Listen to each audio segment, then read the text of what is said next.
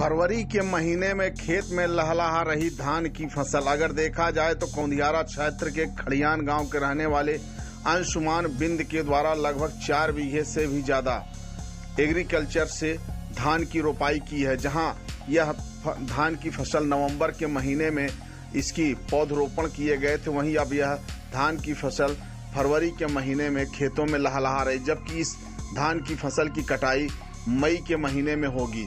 वहीं अगर देखा जाए तो किसानों के द्वारा बताया गया कि यह बिना खाद की जैविक खाद व कंपोस्ट खाद से तैयार की जाने वाली धान की फ़सल है, जिसकी धान के कीमत अंतर्राष्ट्रीय मार्केट में होती है। वहीं इसकी धान की रोपाई यह ठंडी में करने के उपरांत इस धान की कटाई गर्मी के महीनों में होती है। वहीं गर्मी के महीने में की जाने वाली धान की पैदावार को भी कौंधियारा क्षेत्र के कई किसानों के द्वारा की जा रही है। वहीं किसान अंशुमान बिंद के द्वारा यह बातें बताई गई। नवंबर दिसंबर में इसको ट्रांसप्लांट कर दिए। अभी ये मान लीजिए साठ दिन की क्या हो गया है।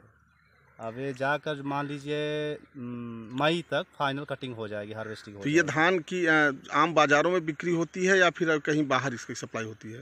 नहीं बाहर सप्लाई नहीं होती। एग्रीकल्चर का ये जो है सीड यानी कि उत्पादन के लिए बनाया गया है।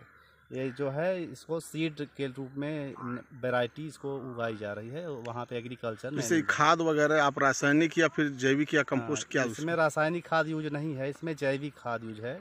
जैसे बोकासी हुआ और कंपोस्ट हुआ वर्मी कंपोस्ट हुआ और डक रिलीज़ के द्वारा इसको हम खेती करते हैं।